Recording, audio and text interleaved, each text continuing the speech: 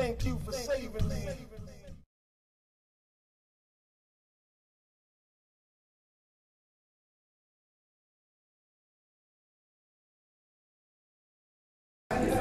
While we recognize the need for um,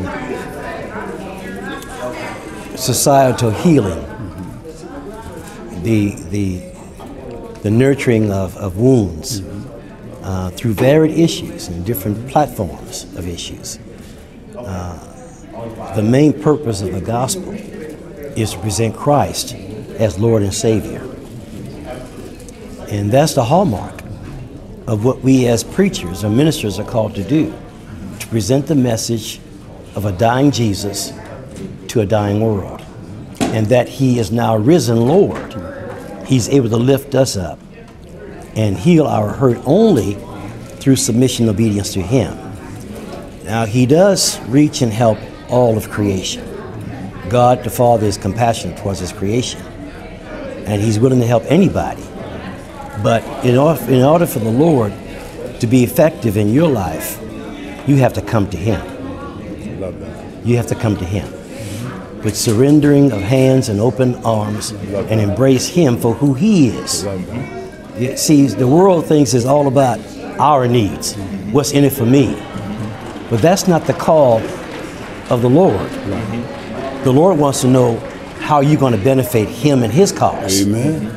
Yeah. You take care of Him and His because You seek first the kingdom Right. and His righteousness. Right, right, Then everything you need will be taken care of.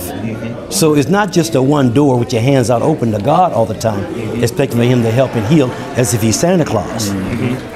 But it is Him reaching out to you to saying, I want what's best for you. And that. He knows, as he, our Creator, what's best for us than we do ourselves. So our purpose is to, yes, help people who are hurting. But that is all dressed and couched in presenting Jesus, who died for our sins. And that's our greatest need salvation from our sins and salvation from ourselves. The, the only thing that I could add to that, and really, it, it, it reminds me of the topic: of come out, come out, wherever you are, come out with your hands up. That's right. You know, in this chaotic world, we have to come out of ourselves, and I think we've internalized so much what's important to me. You know, what what what uh, uh, uh, what is most important in my life? Uh, what are the things that matter most to me? And, it creates a chaotic situation because we tend to block everything and everything and everyone else around us out. And I'm reminded of the uh, of the uh, story in uh, Genesis chapter four, Cain and Abel. Uh, you know, Cain kills his brother. The Lord comes to him and says, "Where's your brother?" And his response is, "Am I my brother's keeper?" And so that's the thing we have to understand. When we uh, uh, uh, are engaging in chaotic behavior, which is what we see in the world today, we're not being our brother's keeper. Okay?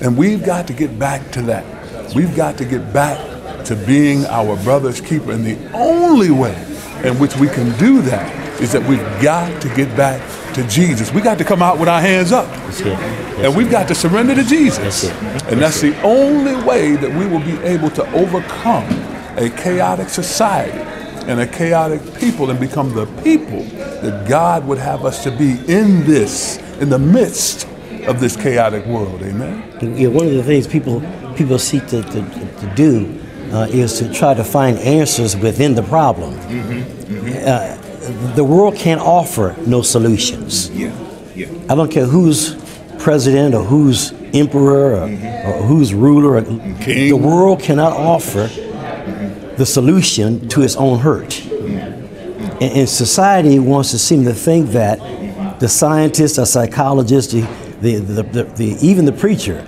uh, can, can help uh, the world with the world. God wants us to come out of the world. And not everybody's going to answer God's call. Satan got a powerful grip on the world.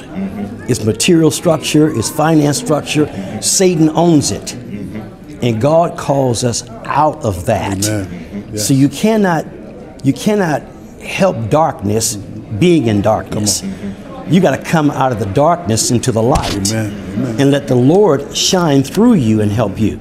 Uh, you know, the, the world got it, got it so that they want to take care of all the societal issues without God. Amen. And, and, and you can't you, you can't address a, a spiritual problem Come on, that's far older, far deeper, and far greater than, than humanity itself. Uh, we need God to deal with Satan, and all the ills of society can't be cured by looking into society. And that's the thing we have to realize. This battle is not physical. That's it. Mm-hmm. It's mm-hmm. It's a spiritual warfare. battle. And so, friends, what we like for you to do, come on out and check us out. Matter of fact, right here in Sandtown, Church of Christ in Sandtown, visit the Church of Christ in your area. Mm-hmm. Come and hear and get the truth in God's word that will help you to navigate through this chaotic world that we live in and do it the biblical way. We can overcome the chaos, Yes.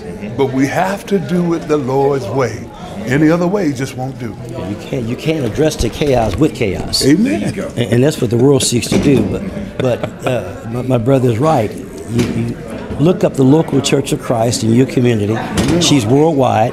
There's only one. Amen. One Lord, one faith, one baptism. That's right. We're just Christians. That's right. Just people trying to get to heaven, doing the right thing by what God said, Amen. not what man said, what God said. That's right. And when the final, uh, when the chips are all falling, when Christ comes, He's not going to be concerned about what some man said. That's right. He's going to ask you, did you do what I told you to do? Amen. What I said. So put the kingdom first. Amen. And everything you need of, says Jesus, mm-hmm. will be taken care of. Friends, come hear the truth in God's word. Come visit your local Church of Christ.